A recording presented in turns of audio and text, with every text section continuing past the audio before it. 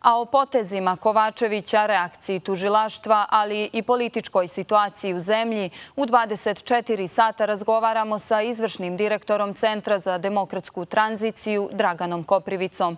Gospodine Koprivica, dobroveče i hvala što ste gost 24 sata. Dobroveče, hvala na pozivu. Pa evo, čuli smo zaista šokantan govor e, predsjednika opštine Nikšić Marka Kovačevića na obilježavanju godišnjice bitke na Grahovcu. Kako je kazao, nikog nije htio da uvrijedi. Cilj je bilo e, pomirenje. Reagovalo je tužilaštvo, političke partije, NVO sektor, premijer, predsjednik. Iz vašeg ugla, zbog čega je bitno da u ovim situacijama svoj sud da naročito tužilaštvo? Pa evo, kao što ste rekli, ovoga puta čini mi se da je reakcija društva bila malo drugačija nego inače, da su svi segmenti, da većina njih zapravo nije mjerila neku političku štetu ili kao oko toga, nego je vrlo eksplicitno rekla to što je rekla. Tužilaštvo je otvorilo predmet, to smo čuli i očekujemo da u najkraćem roku postupe po tome da ja sad ne prejudiciram ovaj, eh, kako, šta i na koji način. Ali ono što eh, bih ja volio da vidim i zapravo šta je po meni eh, jedini ispravan put da se ovdje ovaj, reaguje jeste ta politička pod navodnicima kazna i ona može da stigne od njegovih koalicijonih partnera u opštini Nikšić. Ne vjerujem da će stići po ovim reakcijama. Vidi se da je to onako, eto, ajde čisto nešto da kažemo. Ali ona zapravo treba da stigne od građanki i građana. Ja znam da još uvijek nije došlo vrijeme da tako funkcionišu stvari u Crnoj Gori, ali prave sankcije, one prave e, jedine ispravne će doći na taj način. Evo sad on sve da bude i optužen i osuđen. Kako će to biti e, velika satisfakcija ako ostane još 50 takvih ovaj, u Nikšiću na njegovom mjestu. Dakle, ovdje je stvar drugačija, ovdje se treba drugačije postupiti. Evo, ova reakcija svih, da kažem, e, segmenata društva budi mi nadu da se možda krećemo ka tome. Jedna stvar ovdje mi je zanimljiva ovaj, e, jeste, zanimljivo je da e, gospodin Kovačević malo malo ima ovakav set izjava, ja da kažem, taj svoj ovaj nastup i svaki put nakon toga pokušava da objasni da on nije, da se pogrešno shvatilo, da je namješto sat i tako dalje i tako dalje, šta već on priča u tim svojim objašnjenjima. Zanima me zaista kako čovjek nema hrabrosti kad ovo već sve radi i da ostane pre svojim stavovima. Dakle, zanima me gdje je ta hrabrost čuvina Nikšićka pa da bude to što jeste i da kaže to što jeste. A ne da svaki sljedeći put zapravo ovaj, pokušava da na neki način izvrda. Ovo je došlo i do diplomatskih skandala. Vidite li ovaj, kakva je reakcija i ambasade Turske. Dakle, Većine takvi koji su na granici šovinizma, eh, fašizma i slično, a iz nekog razloga neće da priznaju ovaj, da su to i zapravo pokušavaju da kriju da kriju ovaj svoje prava mišljenja, povlače se i tako dalje. Volio bi da su malo hrabri pa da se može s njima razgovarati na drugačiji način. Evo kada ste već pomenuli šovinizam, e, širenje nacionalne e, vjerske netolerancije, e, govor, mržnje, smatrate li da crnogorske institucije ozbiljno reaguju u tim situacijama? Pa naravno da ne. I one ne reaguju ozbiljno već desetak, 15 godina unazad. Zapravo oni su u varijanti E, selektivne pravde, kao što su varijanti selektivne pravde i druge institucije ovaj, u Crnoj Gori. Dakle, oni oni pokušavaju zapravo e, da svoje e, pokriju ili sakriju na prethodna vlast. Sjećate se kad su čovjek ukapsili jer napisao pogodan e, komentar za ondašnjeg direktora policije.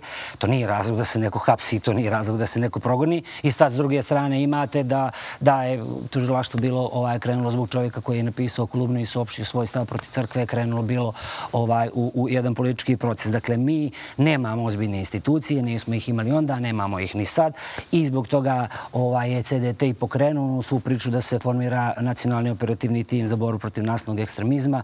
Osnovali smo nacionalnu platformu za boru protiv nasilnog ekstremizma. Daleko su naše institucije od tog nivoa da će ispravno i pošteno reagovati na sve što se dešava. Daleko smo od instrumenta prevencije koji moraju da postoje u srećnim državama, adekvatna institucija bi obavila razgovor s gospodinom Kovačevićem zbog ovoga i interesovala se trebali da mu pruži neku podršku. Bilo kakvu. Znači, to postoje čitavi sistemi razrađeni ovaj, kako se ponaša u određenim situacijama. Daleko smo od toga, ali evo, ovaj, kažem, naša država je u tom smislu krhka. Naše institucije su krhke u mnogim svojim tačkama. Nadam se da, da ćemo konačno krenuti da, da, da je gradimo i da dobijemo državu nezavisnih institucija koja reaguje ne, bez obzira na to ko je nešto uradio. E, Crna Gora čeka još uvijek odluku kada je riječ o izvještaju o privremenim mjerilima. Usvojeno je 12 neophodnih takozvanih IBAR zakona gotovo da su idealno usvojeni, bez e, glasova protiv, rijetko koji uzdržani. Kako gledate na te zakone? Mislite li da će se u praksi oni sprovoditi e, onako kako su i usvojeni i čini li vam se da su možda prebrzo svi ti zakoni donijeti u Skupštini? Pa prvo, taj IBAR je strateški važan. Dakle, to je jedan korak, jedna dobra simbolika, ajde da kažem, koja nas treba da odvoji od okruženja koji je užasno velikim problemima i e, koji nas je na neki način, ja bih tako rekao, častila Evropska komisija na kraju svog mandata da pokaže da je moguća, ovaj, kako se zove, e, neka pozitivna priča u Crnoj Gori. I to je otprilike to. Ako i bar shvatite kao kraj nečega, puno ćete pogriješiti i ništa se suštinski neće dogoditi. Ako i bar shvatite kao priliku, kao šansu, kao početak, onda možemo da razgovaramo o nečemu što može biti jako važno, strateški važno za, za ovu državu. Što se tiče uh, strategije zakona i toga, znači mi kao i ostali imamo dosta zamjerki na to. Imamo prije svega zamjerku na e, e, kvalitet javne rasprave koji je bio u društvu, imamo zamjerku na kvalitet rešenja i ovaj, zapravo šta će ovdje biti važno? Hoće li se ova vlast ponašati opet kao ona prethodna? Jer je ona prethodna vlast 12. 13. imala ovu priliku, to se tad nije zvalo IBAR, jer je bila drugačija metodologija za pregovaranje, ali imala ovu priliku i onda su počeli da se samo obmanjuju, da obmanjuju javnost, da govore mi smo lideri, mi smo najbolji, a zapravo u suštini se ništa nije dešavalo. Ako IBAR zakoni, pa čak i ovako falični i loši, ovaj, budu iskorišćeni da se, da se on, um, uh, institucije mijenjaju, pa da se i sami ti zakoni stvari ponovo minjaju. Da se e, sve rupe koje su sad ostale, sve problematične stvari koje su ostale, e, e, ako se to bude radilo, ako vlast tako bude funkcionisala, mi možemo nečemu da se nadamo. Ako, ako se ova vlast bude samo obmanjivala kao na prethodna, da je to fenomenalno, da je to nekakav vanplanetarni, od 12 zakona, da je nekakav vanplanetarni ovaj, napredak, proći će isto kao i ona prethodna vlast. U Skupštini bi trebalo da se raspravlja o smjeni ministra pravde Andreja Milovića. Kako komentarišete potencijalnu smjenu ministra koji je, makar prema riječima premijera Milojka Spajića, najviše zaslužen za usvajanje i bar zakona? Pa nije to meni previše neka napeta priča, pravo da vam kažem, niti važno. Ne sad neki prećeran javni interes tu. Ja mislim da, ovaj, kao što sam rekao, zakon imaju manjkavosti. Ja mislim niko ne treba slavi kvalitet zakona, pa ni ministar Milović. Uz poštovanje svega što su oni uradili, uz poštovanje što su radili i ostali, ne želim eh, sa ovoga mjesta ni na koji način da umanjim to što su radili. Ja mislim da taj kvalitet nije za slavi. To je prvo. Drugo, ovaj, mislim da je potpuno prirodno da ako uh, uh, gospodin Milović nije bio dobar za partiju gospodina Spajića, da nije dobar ni za vladu. E sad, što se u Crnoj Gori ovaj, pronalazi milion nekih skrivenih ovakvih onakvih razloga, što se sad od toga prave špekulacije, zašto se smjenjuje Milović i tako dalje, to je druga stvar, možda ni ne treba time da se bavimo, ozbiljni smo ljudi, a s obzirom na to šta se moglo čuti, koliko neozbiljnih argumenta, možda ni u to ne treba da ulazimo, ali dakle, ovaj, jedna stvar je važna i moramo da je znamo. Premijer bira svoj tim, parlament glasa za njega i ako premijer nema povjerenja u ministra, bez obzira koji je razlog, ovaj, mislim da stvari treba da idu uh, uh, tim tokom, naročito zato što ga je ovaj, isključio iz partije i to je opet bila kao politička kalkulacija premijera jer se bojao da će mu u tom momentu biti velika politička šteta da ga makne i sa mjesta ministra. Dakle, ovo jeste jedan dio političke kalkulacije, sigurno, ali ja sad se tu nešto ne bi previše, uh, kako se zove, uzbuđivo. To su njihovi interni odnosi, oni su bili najbolji drugovi, bili su kičme jedan drugome i tako dalje, tako dalje. Ja obično u takve odnose ne volim da ulazim. Još uvijek je nepoznato hoće li ministar Milović imati pravo da govori kada se bude u Skupštini raspravljalo o njegovoj smjeni. Možemo li reći da je to još jedan pokazatelj koliko crnogorskom društvu fale zakoni o vladi i Skupštini i zbog čega je neophodno da se oni usvoje? Da se ja pitam, ministar Milović bi govorio u parlamentu. Dakle, to je moj stav lični, dakle svako ko, ko e, e, treba da bude smijenjen, treba da ima priliku da kaže to što želi da kaže. Mislim da je to demokratično i da tu ne bi trebalo da bude nikakvog spora. Znači to zato što smo imali takve slučajeve i ranije, da ih sad ne nabrajam, ali smo ih imali. Ali e, priča o zakonu o Skupštini vladi mnogo veća od pojedinca, pa makar to bio ja, vi ili gospodin Milović. Znači to je priča o odnosu između e, dvije institucije To je priča o krhkosti parlamenta i snazi vlade, dominaciji vlade u odnosu na parlament koja postoji zadnjih 20 godina. CDT to već, evo, ne znam, i decenije su prošle ovaj, koliko mi e, tražimo e, e, da, da dođemo do tih zakona i da se oni konačno usvoje.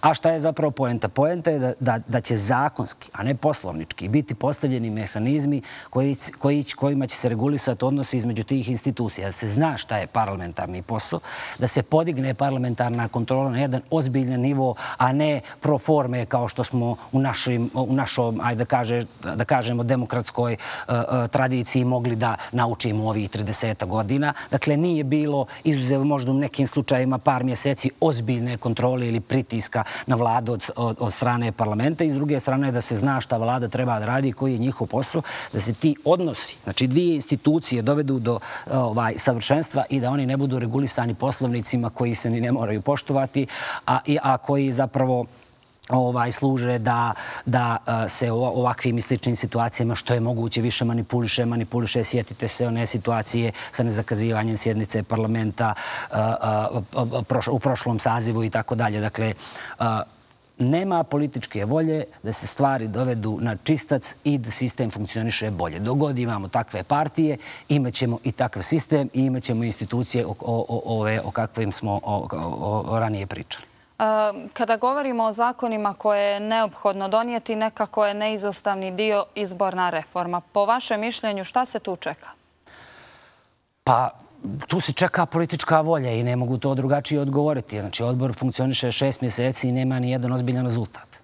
Dakle, kad je to tako, onda znate da ima problem uh, uh, nečega što se zove politička volja i da ima problem nečega što se zove uh, uh, ponavljanje obrazaca iz prošlosti. Dakle, šta je ovdje bila poenta, odnosno problem u prethodna dva mjeseca? Bilo je problem što je opozicija imala zahtjev oko ševnika, zapravo nije oko ševnika, nego oko povlačenja uvedene prinudne uprave tamo. E sad, ja vas pitam, je li to razlog da se jedna najvažnija reforma u državi zaustavi? Ja mislim da nije uspoštovanje i šavnika i problema ozbiljno koji postoji u šavniku. Sami smo davali mnogo puta sugestije kako on treba da se rješava. Dakle, zbog hiljadu birača ili hiljadu i po birača vi zaustavljate proces koji treba da donese eh, mnogo značajniji demokratski proces za, za, za, za 500 hiljada. I to je zapravo, nažalost, sadašnja opozicija ponavlja model. Sjetite se zbog čega su rani ovaj, odbori bili blokirani, zbog imena jezika, zbog zakona o slobodi vjeroispovijesti. Svi nebitni razlozi ovaj, dolaze do izražaja kad je ovaj odbor u pitanju i to je ozbiljen problem. Da li će ove političke elite ovaj, znati da konačno to maknu u sebi iz glave i da počnu ozbiljno da rade, to ne znam. Sjednica je zakazana za četvrtak. Na dnevnom redu su e, plan rada, e, e, dinamika rada i konačno te neke važne stvari, ali zamislite da posle pola godine od osnivanja odbora mi pričamo o planu rada. Razumijete koliko je vremena potrošeno, koliko je protraćeno, koliko se moglo uraditi i pripremiti rješenja do tad. Ako se ovako budu ponašali političke elite, mi od toga nećemo vjerovatno imati ništa, a evo naše tamo moramo biti optimisti, to nam je posao da probamo da damo što je bolje, što je moguće kvalitetnija rješenja i da probamo da konačno na neki način damo svoj doprinost da se ta reforma konačno dogodi. Kratko ćemo se za kraj osvrnuti. E, vratit ćemo se na djelovanje političara u Crnoj Gori. Neposredno, evo i prije ovog razgovora, odgođen je e, sastanak premijera Milojka Spajića sa predsjednikom Bugarske zbog toga što je premijer kasnio. Kakvu poruku šaljemo takvim postupcima i koliko je loše zapravo da se to događa? Sad to prvi put čujem, tako da ovaj, nisam imao informaciju o tome ako je premijer kasnio na sastanak sa predsjednikom, a nije se desilo nešto prevažno zaista je to politički nekulturno, a uz ogradu da stvarno nijesam to vidio i ovaj, možda ne treba da komentarišem stvari koje nijesam, ovaj, u koje nijesam precizno upućen. Dakle, ima tu velikih problema s političkom kulturom o, u, u, od parlamenta do vlade. Sve to zahtjeva neko vrijeme, sve to zahtjeva neki proces, a zapravo šta nama treba i što mi nijesmo imali u našem više stranači, mi nijesmo imali niti vladu, niti vlast koja je spremna da izgubi sljedeće izbore kad dobijemo vladu i vlast koja je toliko odgovorna da je spremna, idem da promijenim sve što treba u državi i znam da ću izgubiti izbore jer to zahtjeva bolne rezove, ovaj, e, ko bude spreman ko ne bude toliko volio vlast, a bude toliko volio državu, ovaj, taj će ostati e, malo ozbiljnije zapisanu istoriju ove države i društva. Gospodine Koprivica, hvala vam puno što ste bili gost 24 sata. Hvala vam na pozivu.